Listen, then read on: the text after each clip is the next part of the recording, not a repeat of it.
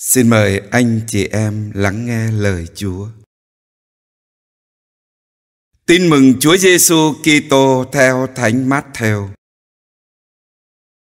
Khi nghe tin Đức Giêsu đã làm cho nhóm Sa đốc phải câm miệng, thì những người Pha-ri-siêu họp nhau lại.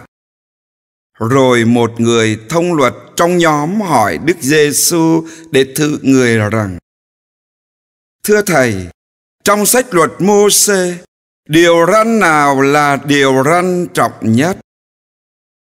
Đức giêsu đáp, ngươi phải yêu mến đức chúa, thiên chúa của ngươi hết lòng, hết linh hồn và hết trí khôn ngươi đó là điều răn quan trọng nhất và điều răn thứ nhất.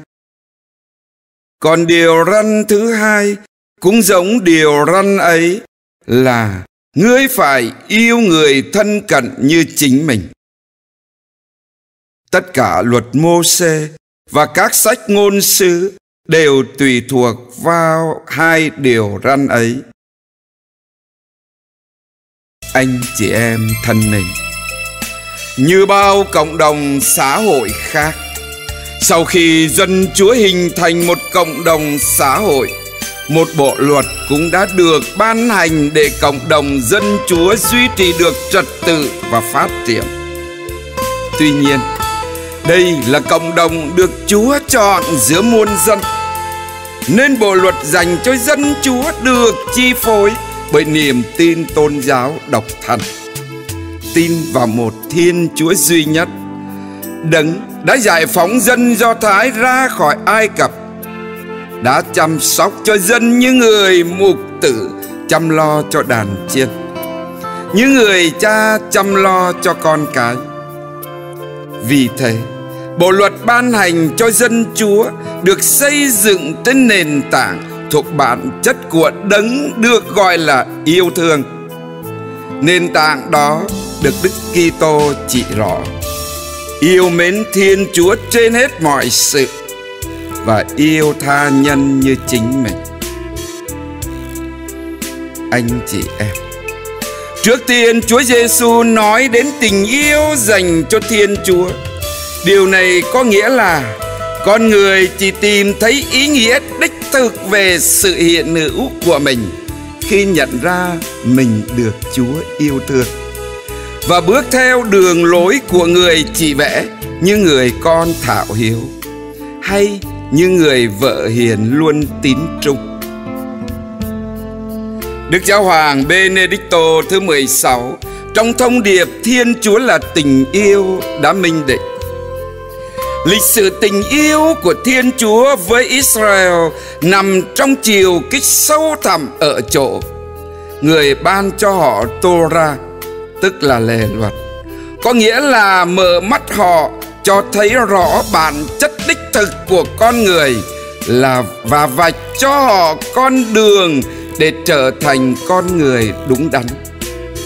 Lịch sử này bao gồm sự việc con người khi sống trung tín với Thiên Chúa duy nhất sẽ cảm nghiệm mình là người yêu của Thiên Chúa và tìm được niềm vui trong chân lý, trong công bình, niềm vui trong Thiên Chúa niềm vui đó trở thành hạnh phúc thật của mình. Con còn ai trốn trời xanh? Ban ngày thế sự thật tình chẳng han. Còn hạnh phúc của con là ở kề bên chúa. Vì thế việc yêu mến thiên chúa trên hết mọi sự là hành vi cốt cán chi phối mọi hành động của cuộc sống Quả thật, sự hiện hữu của con người bắt nguồn từ tình yêu của Thiên Chúa. Nên tất cả mọi hoạt động của con người nếu muốn tồn tại cần phải quy hướng về tình yêu này. Lần đọc lại câu chuyện Adam nguyên tổ của chúng ta. Tác giả sách sáng thế đã cho biết chỉ vì nguyên tổ đã để cho lý trí và ý chí lệch hướng trong mối tương giao với Thiên Chúa, mà con cháu phải chịu bao nhiêu cảnh lầm than. không còn đặt Thiên Chúa là trọng tâm của cuộc sống. Con người phải đối diện với hư vọng. Thế giới hôm nay như đang đặt bước chân mình vào con đường của nguyên tổ đã trải qua. Con đường khước từ Thiên Chúa để tìm vinh danh cho chính mình. Và có thể nói, thời đại hôm nay là thời đại mà con người quá đề cao chính mình và tỏ ra yêu mình quá mức. Từ thái độ đó, con người rơi vào cơn lốc hưởng thụ ích kỷ, đánh mất đi căn tính thần thiêng của mình và càng ngày càng tục hóa lối sống vì thế thế giới hôm nay đã đánh mất mối quan tâm tới thiên chúa. Con người rơi vào khủng hoảng của thất vọng, của sự sợ hãi, và hầu như bế tắc trong nỗ lực đi tìm một sự bình an thư thái. Đây là kinh nghiệm mà dân do thái đã trải qua. Bao lâu dân chúa đánh mất tình bằng hữu với thiên chúa? Bấy lâu họ luôn gặp nguy khốn và mạng sống luôn bị đe dọa. Vì thế, thưa anh chị em, Luật yêu mến Thiên Chúa trên hết mọi sự Xét cho cùng chẳng vì thiện ích của Thiên Chúa, Nhưng đó lại là phương thế để giúp con người đạt tới hạnh phúc Và tìm được sự sống đích thực. Vì như đã nói, Thiên Chúa là tình yêu. Và chính từ suối nguồn yêu thương này Mà sự sống được nảy sinh Do đó Luật dạy yêu mến Thiên Chúa hết sức mình cũng có nghĩa là luật chỉ cho con người biết làm cho cuộc sống của mình luôn phong phú và được tồn tại. Ai luôn gắn bó với Thiên Chúa, người đó đang xây dựng cho cuộc đời mình một thành trì vững chắc và thù địch không thể xâm lấn được. Anh chị em thân mến, sự sống đến từ Thiên Chúa luôn thể hiện đặc tính cộng đồng. Bởi ngay chính nơi đời sống nội tại của Ngài Ngài cũng không đơn độc trong một ngôi vị duy nhất Nhưng trong ba ngôi vị. Chính từ nơi các ngôi vị này hình thành một mối dây hiệp thông Làm nên một bản thể duy nhất Mối dây yêu thương. Và từ đó Thiên Chúa được gọi là Thiên Chúa tình yêu Vì thế tất cả mọi tạo thành đều bắt nguồn từ suối nguồn tình yêu này đều mang lấy đặc tính cộng đồng nơi Thiên Chúa ba ngôi. Tác giả sách sáng thế đã tường thuật cách tuyệt vời về việc tạo dựng con người. Ban đầu, chỉ có một mình Adam, cho dấu ông được Chúa cho quyền thống trị trên hết mọi dã thú chim trời, nhưng ông cũng chẳng vui. Để rồi Chúa phải thốt lên, con người ở một mình không tốt Ngài đã tạo nên Eva một trợ tá tương xứng Và chỉ từ khi đó Adam mới vui Mới cảm thấy hạnh phúc Như vậy Thánh Kinh đã minh nhiên khẳng định Cuộc sống của con người chỉ tròn đầy ý nghĩa Khi cuộc sống đó được biểu tỏ trong mối tương giao với tha nhân Chính vì thế, thưa anh chị em, Luật Thiên Chúa ban truyền được xây dựng trên nền tảng giữa con người với Thiên Chúa và giữa con người với nhau. Hai chiều kích không song song với nhau nhưng kết nối với nhau một cách bất khả phân ly để có thể quả quyết rằng yêu người là một con đường dẫn đến gặp gỡ Thiên Chúa. Và nếu quay lưng lại với tha nhân sẽ làm cho chúng ta ra mù lòa không gặp được Ngài. Chính vì sự kết nối này, luật yêu người không đơn thuần xuất phát từ một cảm tính đồng loại, nói như cha ông Việt Nam chúng ta. Bầu ơi thương lấy bí cùng, tuy rằng khác giống nhưng chung một dạng. Luật yêu thương vượt xa cảm tính này, nó được xây dựng trên nền tảng đức tin. Đức Benedicto thứ 16 đã nói Tình yêu tha nhân cốt tại chính điều này là Trong Thiên Chúa và cùng với Thiên Chúa tôi gặp Tôi yêu người thân cận Cả khi tôi không thích hoặc không biết người đó, Điều này chỉ trở nên khả thể từ cuộc gặp gỡ thâm sâu với Thiên Chúa Một sự gặp gỡ trở thành hiệp thông ý muốn Và thâm nhập vào trong tình cảm Bây giờ tôi học cách nhìn người khác, Không phải chỉ bằng con mắt và tình cảm riêng của tôi, Nhưng từ nhãn giới của Đức Giêsu Kitô. Đức Giáo hoàng Francisco cũng đã diễn tả, Tình yêu tha nhân là một con đường cụ thể, Một con đường dẫn chúng ta tới chỗ ra khỏi chính mình Để đi đến với những người khác. Chúa Giêsu đã cho chúng ta thấy rằng Tình yêu của Thiên Chúa hiện thực trong tình yêu tha nhân. Cả hai đi với nhau. Các trang sách tin mừng tràn đầy tình yêu này. Người trưởng thành trẻ em, người thông thái, kẻ rốt nát, người giàu, kẻ nghèo, người công chính, kẻ tội lỗi, tất cả đều được tiếp đón trong trái tim của Chúa Giêsu Kitô.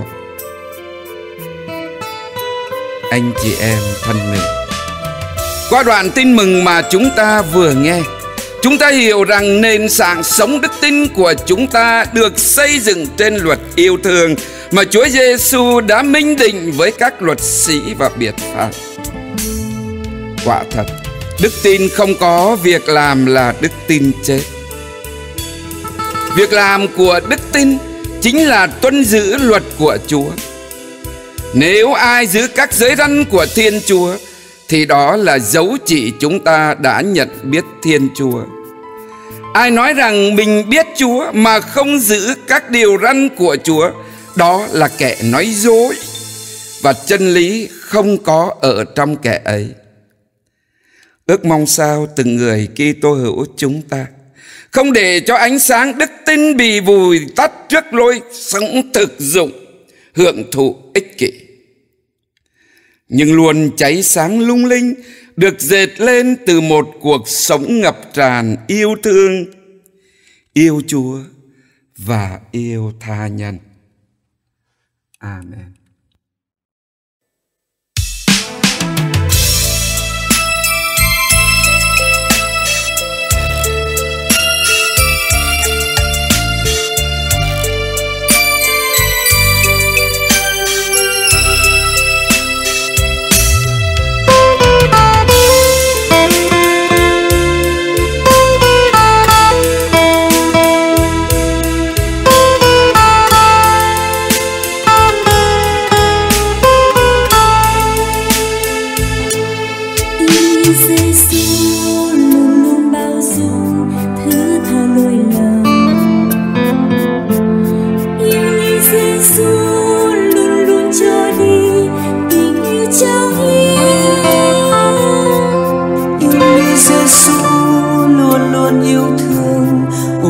Ấp vô về.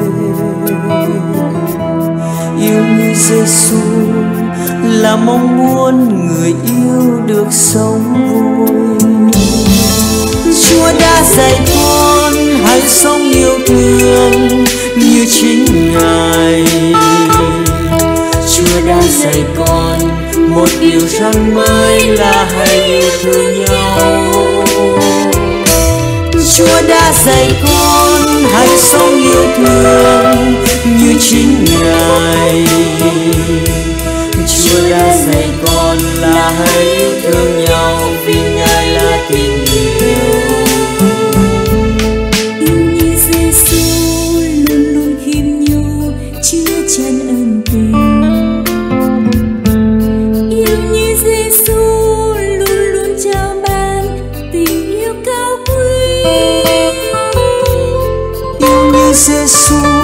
giang tay ôm con, đờ nâng con lên.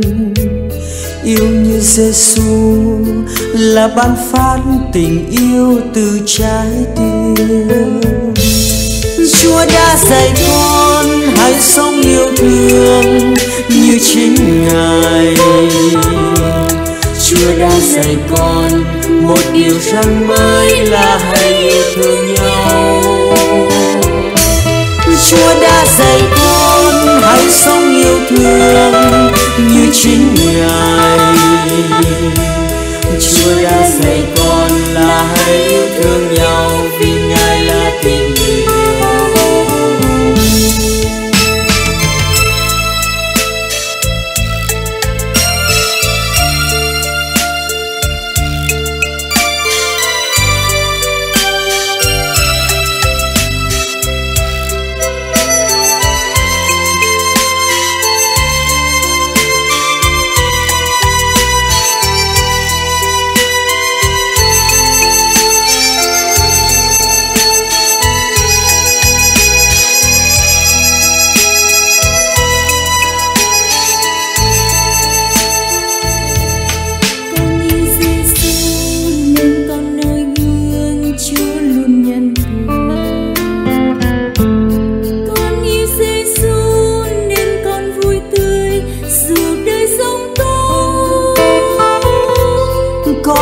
Giêsu nên con ghi tâm, điều rắn Chúa dạy. Con như Giêsu nên con quyết thực thi tròn chữ yêu. Chúa đã dạy con hãy sống yêu thương như chính Ngài. Chúa đã dạy con một điều răn mới là hãy yêu thương nhau